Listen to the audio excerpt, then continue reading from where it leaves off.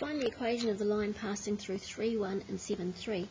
First, label your points. x1, y1, x2, y2. Second, it's good to remember your gradient equation because the gradient's the first thing that we need.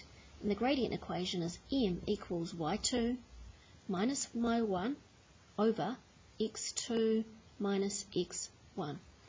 What we're going to do is we're going to slot in the, the points that we have.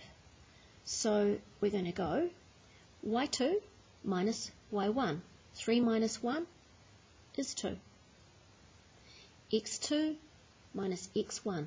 7 minus 3 is 4, or a half.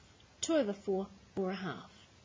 The next thing that we need to do is we need to complete all the parts of our line equation which goes y equals mx plus c.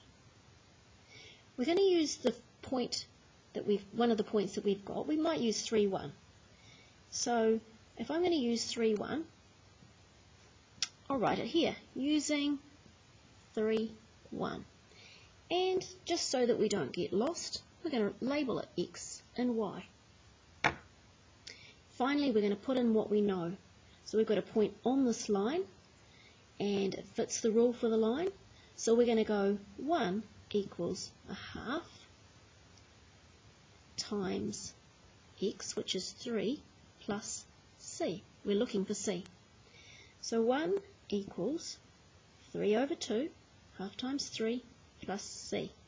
Because this 3 over 2 is added on this side, we'll take it to the other side and do the opposite. 1 minus 3 over 2 equals C. You can use your calculator. You'll find that C is negative a half. And we won't forget to write our final equation. Y equals